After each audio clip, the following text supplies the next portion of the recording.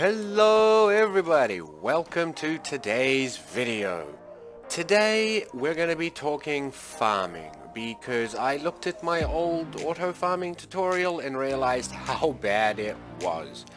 So in the spirit of doing things properly, this is going to be a two-part series. The first part is how to farm, which is going to cover the very basics of farming and how all the equipment works and the second video will be how to auto farm which will be me building step by step a fully automated farm for you guys to see.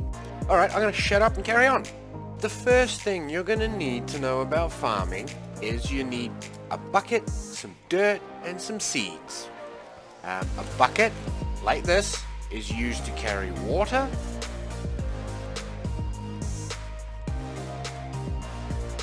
seeds are found all over the place, like so. This little pond is right by the start and has instructions on how to farm, but I'm going to be doing a much more in-depth tutorial on that today. You will need to gather up this, the fertilized dirt, which also comes in bags that looks like this. And this is actual fertilizer which you can spray on your crop later on. To begin with, only plant carrots, beets and tomatoes. They are your low value crops that are not going to cause a problem. All of these other level 2 and level 3 crops will draw a lot more angry mobs your way and are a lot harder to deal with at the beginning of the game. And because of the raids that will attack your crops at midnight, don't build your first farm too big. The raid will only happen if you have 10 crops or more. So I tend to build my farm only 8 big, then I guarantee I will never get attacked. That way it makes farming much easier to start the game. Beautiful 8 plot farm. I find this farm will produce twice as much food as I need. So every day I farm, I make two days of food. It's a pretty good system considering it doesn't draw any attention. Once you've got your dirt down, it's simply a case of planting your seeds and using your bucket to add in some water. You can fill your bucket at the pond and water each crop like so. Now, in a little less than 24 hours, I think it's around 20 hours, these crops will grow and you will be able to harvest them.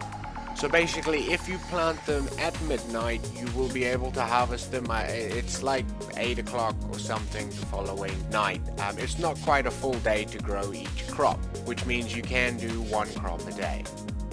Difference between them is pretty mild. A beet is going to give you half and half thirst and hunger. A carrot is going to give you mostly food, mostly hunger, and a tomato is going to give you mostly thirst. So I find personally for me, I plant two or three carrots and the rest tomatoes, and that gives me plenty of food. The best way to get seeds, fertilizer, and soil is to just simply smash chests in there you are, in most of the chests you will find that sort of stuff. Fertilizer can be used to put on the crops. When you see those little pluses, that's how you know it's been fertilized. And that halves the grow time. So now I'll actually be able to grow two full crops in a day. So yes, you're right. At this point, it's all pretty simple. Stick the seed in the ground and water. It's all pretty obvious. But it does get a little bit more interesting from this point onwards, because you could choose to run up and down with your bucket, which would take you forever to water your crop, especially in time when they get bigger. Or you could try and, you know, figure out a watering system. So the basic farming equipment is going to be a water cannon, a vacuum pump, and a water tank. All of these things, plus um, fertilized dirt um, are all craftable here at your crafting station. And to start the game, most importantly, buckets and fertilized dirt. As you can see, because I put fertilizer on the crop, the carrot has now ripened and is ready to be harvested, but the rest have not finished growing yet. So that's how fertilizer works. To get yourself unlimited water, you're going to need one vacuum pump, one water tank, and one switch. That's it. So you stick the vacuum pump in the water like so, with the water tank or chest on top of it, and stick your switch close by. Connect your switch to your vacuum hopper, and make sure the arrow is pointing up, so just push E, so that it's going to suck the water in. And then all you have to do is turn on your switch. And now you have unlimited water. It's just going to sit here and keep filling up your tank. However, you'll notice once you've made some water and you try and use it to water your crops, you won't be able to. This water is only good for use in your crafting machine.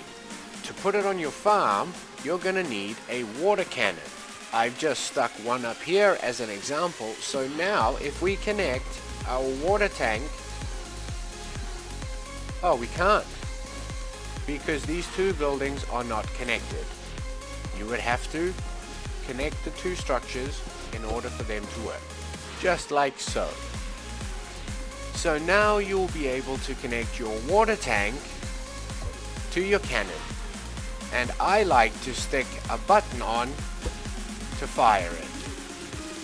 So now when we push the button, we dispense of water. And every time we do that, we'll dispense another water. And as long as our pump is on, it's going to automatically fill up the tank, so you'll never run out of water. However, as you'll see, this will only water one or two tiles directly below the cannon. So you can just build multiple cannons to cover your whole farm, or you could do something like this. So I've just moved the water cannon to the side and I've put a sensor down instead of a button. So now if I connect the sensor with only one block of range to our water cannon and our water tank,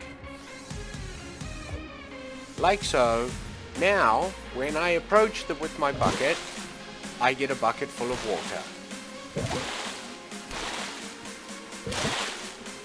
and it makes it much easier for you to water your whole farm with only one water cannon and water pump. Something to remember is only water tanks will connect to a water cannon. If you try and use a large chest or anything like that, it will fill up with water, but it will not connect to your water cannon. So you can only use chests for storage of water for your crafting, not for watering with your water cannon for a simple farming tutorial. I hope you guys found this helpful. It should give you everything you need to get started.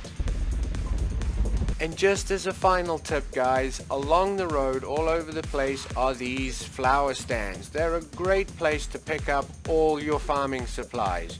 You'll find fertilized dirt inside along with seeds and often fertilizer and pretty much everything you need. So if you Spend a little bit of time traveling the roads, you will soon have all you need to set up a farm. If you travel down the road far enough, you will find your first processing plant. This is where you deliver all your farmed goods and pack them into crates. The reason this is helpful is the trader is always directly behind. In that mountain through the cave there is where you'll find the trader always directly behind the first processing plant. As always, thanks for watching guys. We will see you on the next video.